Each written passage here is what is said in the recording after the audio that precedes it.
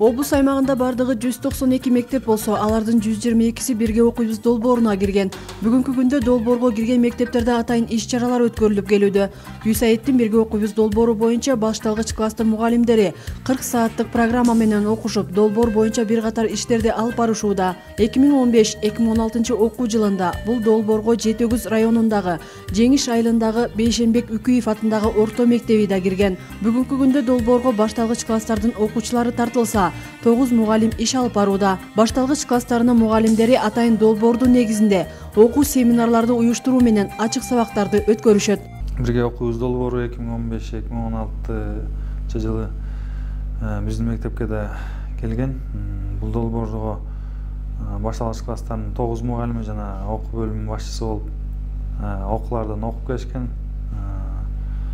Окуулардан келишкенден кийин атайын иш планы бекитилген иш план боюнча семинарлар өтүлүп андан кийин ачык сабактар өтүлүп турат. Бул бирге окуйбуз долбоору ата эне менен мектептин тыгыз байланышына жана баланы китеп менен адабий китептерди окууга кызыктырууга негизделген ар бир класста биз администрация тарабынан шкафтар берилген. Ошол шкафтарга ата эне мугалим балдар үйдөн адабий китептерди алып келип чогулушат ошентип мектептин класстын фонду көбөйүп ошо жанакындай ата энелер ар бир э, сабактарга катышып өзүлөрү анан өзүлөрү балдарга китеп окуп берип турушат да. Анан ошо сабакка катышуу менен балдарга жана өзүнүн балдарынын жетишкендиктерин байкашат жетишпеген жактарына үйлөрүнө жардам беришет.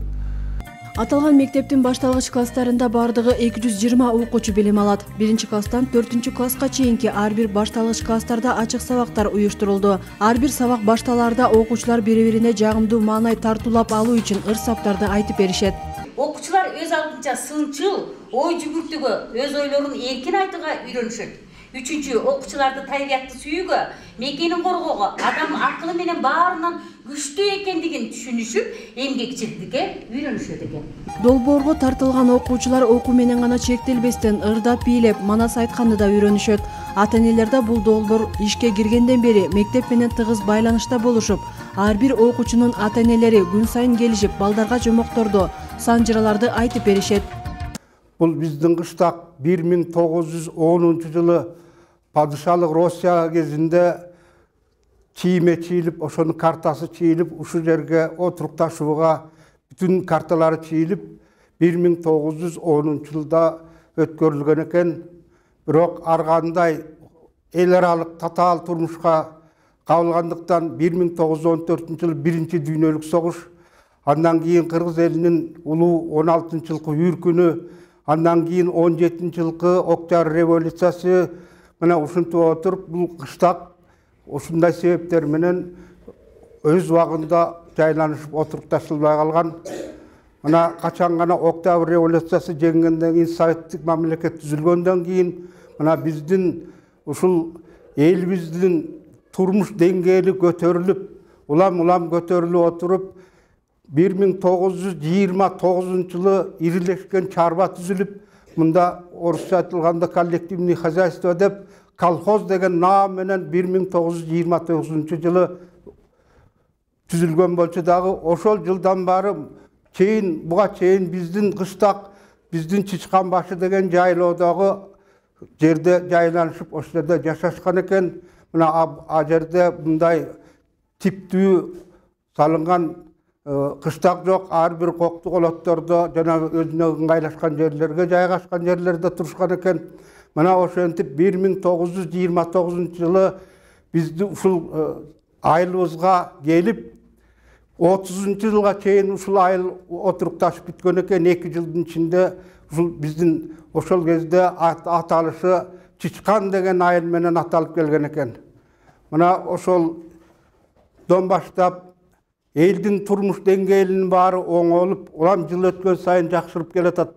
Мына биздин кыштак бир миң тогуз жүз жетимиш бешинчи жылы улуу ата мекендик согуштун отуз жылдык жеңишинин урматына жеңиш деген айыл деп ошол бир миң тогуз жүз жетимиш бешинчи жылдан бери аталып келе жатат мектеп окуучулары да окулган жомокту кунт коюп угушуп берилген суроолорго жооп беришти алар өткөрүлгөн ачык сабактарга активдүү катышып өздөрүнүн илим билим китеп жөнүндөгү ыр саптарын да айтышты башталгыч класстардын мугалимдери бул долбоор менен иштегенден бери балдардын сүйлөө речи китепке болгон кызыгуусу артып жаткандарын бир ооздон айтышты. Бирге окуйбуз долбоору балдарга абдан жакты себеби ата энелер мектеп менен тыгыз байланышта болот экен ата энелер бош убактыларында келип көптөгөн жомокторду окуп берип балдардан кайра суроо жооп иретинде ошол жомокторун бышыктап атышат. Э, бул балдардын сөз байлыгынын өсүүсүнө э, тартибине эмгекчил болууга жомоктордун таасири өтө көп тиет экен.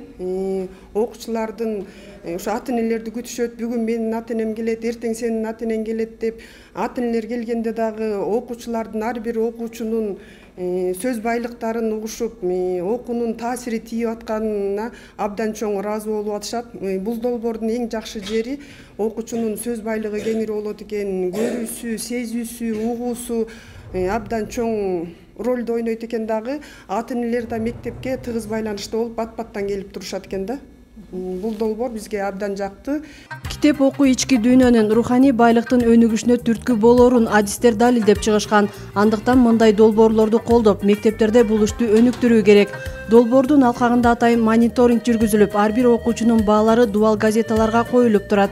Бизге дагы балдарга дагы эң эле пайдалуу экен биз ушул долбоордо биздин ата энелерибиз дагы эң чоң көмөк көрсөтүп ата энелер менен балдар мугалимдердин арасында эң жакшы тыгыз байланыш болот экен мен ушул долбоордун долбоордо менторлук иш алып барам менторлук ишин алып барам бул жерде бизде ушу бирге окуйбуз долбоорунда балдардын жетишкендиктерин көрсөткөн мына мындай көрсөткүчтөрдүн теңдештирилген картасын түзүп иштеткенбиз бул балдарга өзүнө да аябай жакшы экен. Э, биз балдар көпчүлүгү билбейт да биз кандай э, баа алып атабыз деп. Ошон үчүн мындай жазып койсок өздөрү көрүп өздөрүнүн жетишкендиктерин өздөрү баалап мониторинг чыгарып койдук. Бул мониторингде ата энелерибиз келип балдардын өзүнүн жетишкендиктери кандай экенин кандай окуп жаткандарын э, баардыгын өздөрү келип көрүп кетип атышат. Жумасына бир жолу ата энелер келип бизге он беш мүнөттүк жомок сценка коюп берет жомок окуп беришет.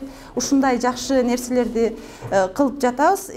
Гүлайна мамбетакунова отуз жылдан бери агартуу тармагында иштейт. Ал бул жылдар аралыгында окуучуларга сапаттуу билим берүү үчүн көптөгөн иш тажрыйбаларды колдонуп сабак берип келгендигин айтып бирге окуйбуз долбоорунун да көптөгөн өзгөчөлүктөрү бар экендигине токтолду отуз жылдын аралыгында э, буга чейин деле бир нече жаңы методикалар менен тааныштык үйрөн тааныштык алар менен иштедик жана бир нече э, проектилер менен иштедик. Алардын да жакшы жактары бар. Алардан да жакшы нерселерди алдык. Ал эми ушул окуу жылдан бери бирге окуйбуз долбоору боюнча иштеп жатабыз. Э, бул долбоордун дын бир топ артыкчылык жагы бар экен. Айрыкча ушу башталгыч класстар үчүн ата энелер да буга кызыгып калды. Э, балдарыбыз дагы анан мына окуу жылыбыздын башынан бери иштегенден бери бир топ окуучуларыбызда бир топ ийгиликтүү иштер болуп жатат. Бул проекти бизге жакты юсаид эл аралык уюму тарабынан ишке ашырылып жаткан долбоор беш багыт боюнча жүргүзүлөт аталган мектептин мугалимдери ар бир багыт боюнча атайын иш пландын негизинде ачык сабактарды уюштуруу менен окуучулардын ар тараптан өнүгүүсү үчүн атайын көнүгүүлөрдү да аткарып келишүүдө ушул эки миң он беш эки миң он алтынчы окуу жылында ушул бирге окуйбуз долбоору менен ушу тогуз мугалим баардыгыбыз тең мен өзүм баш болуп окуп келгенбиз Э, ал жерде темирбек сулайманович өзү жетектеп окудук. Э, башында бул долбоор боюнча анча түшүнүгүбүз болбогонубуз менен иш жүзүнө ашыра келгенде ушунчалык кызыктуу. Э, кызыктуу долбоор болду Э, иштеп жатканында дагы ушундай аракеттен менен иштенүү менен жана изденүү менен э, өтүлүп атат. Э, мында деген эң биринчи семинар э, болуп ошол семинардын негизинде э, анан сабактар өтүлөт да Э, долбоордо план түзүлөт Э, планда беш компоненттен камтылган бул долбоорго беш компонент кирет. Э, анан мугалимдер ушул боюнча эн ата менен бирдикте эн атага эн аталар менен чогуу тиги иштеп жатышат. А эн аталар болсо ушундай келип ушу мугалим катарында отуруп китеп окуп берип кайра окуучулардан жообун алып өзүнүн м, мугалим катары койгонго кызыктар болушуп ушундай очередь менен биз келели биз келели болуп атышат сан жер айтып беришет манастар боюнча айтып беришет манастын бөлүктөрү боюнча. Анан бул ар бир класс биринчи класстан төртүнчү класска чейин алфавитти таануу андан кийин тыбыштык боюнча фонемалык боюнча өз бөлүктөрү менен келе жатышат да. Бир семинар өтүлөт ошо бир семинардын артында эки сабак болот ачык сабак болот бейшенбек үкөев атындагы орто мектебинде өткөн ачык сабактар бир нече этаптар менен өткөрүлдү мектеп окуучулары үчүн жаңы жомок китептеринин көргөзмөсү да уюштурулган ар бир башталгыч класстардын бөлмөлөрүнө мектеп администрациясы тарабынан атайын текчелер берилген бул текчелерде ата энелердин колдоосу менен алынган жомок китептер сүрөттөр орун алган бул китеп текчеге ата энелердин жардамы менен түзүлгөн китеп текчебиз Э, мектеп тарабынан шкафтар берилген баардык класстардын ата энелери ушундай э, китептерди алып келип өзүлөрүнүн балдарына э, жомок окуп берип жатышат. Балдарга өзүлөрү да чыгармачылык менен кызыктуу окуп бергенге аракет кылып жатышат.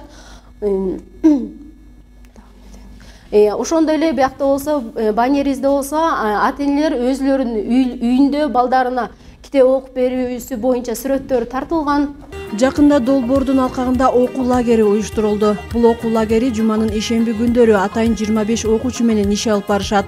Окуу лагеринде окуучулар көркөм окууга укканын кагазга түшүрүп сүрөт тартуу менен алектенишет. Байлык чаар жергемпир эки баланы эки колунан жетелеп тоо ашып токой аралап жүрүп отурду. Азыркы эле сайдын жээгине жетип токтоду. Анан балдарды жардан алыс түртөөр алдында мындай деди. О улуудайра эне сай эгер сага тоом коруп кулатса муштумдай таш сыяктанып түбүң өчөгөн кылым турган карагай кесип кулатса чабындыдай толкунга кетет эмесе эки көздүн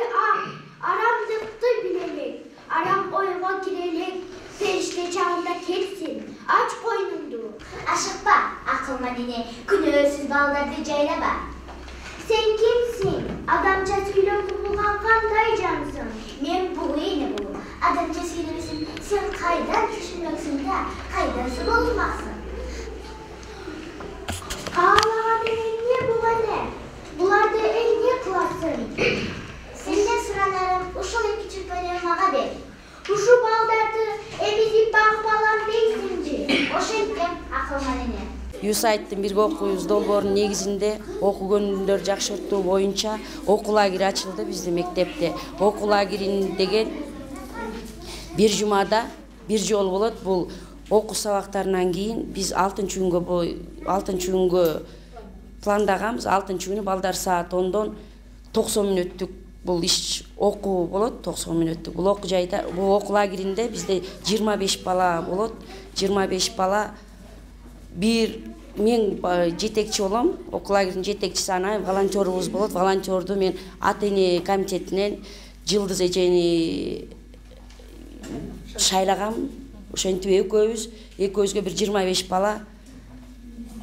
Келген анан бул бул окуу окуу лагери аябай жакшы экен окуу лагеринде бул балдардын сөз байлыгы жанагы юсайттын окуу бирге окуйбуз долбоорунун беш компоненти жакшы камтышат экен беш мына фонеманы кабыл алуу алфавиттик принципин шаар окуусу сөз байлыгы окуп түшүнүүсү булар мындай балдар кеңири колдонуп кеңири балдарыбыз деген кеңири сүйлөп калышат экен да бул лагерь деген аябай жакшы экен бирге окуйбуз долбоорунун алкагында ар бир окуучу өзүнүн портфолиосун ачып сабакта аткарган иштерин салышат ошондой эле мугалимдерде аткарып жаткан иштеринин портфолиосу бар. Ошондой эле ар бир окуучуга портфолио уюштурдук. Ошол ар бир окуучунун портфолиосунда өздөрүнүн берилген тапшырмалары э, буга өздөрүнө каалаган жакшы көргөн каармандардын сүрөттөрүн тартып келишет. Э, класста жыйырма сегиз окуучу болсо жыйырма сегиз окуучунун тең портфолиосу бар. Азыркы тапта аталган мектептин башталгыч класстардын мугалимдери жаңы интерактивдик досканы колдонуу менен окуучуларга сабак өтүп келишет. Долбоорду алдыда кеңейтип ага карата алгылыктуу иш аракеттерди көрүү ар бир мугалимдин милдети андыктан бирге окуйбуз долбоорунун алкагында. Мындан ары да ар кандай иш чаралар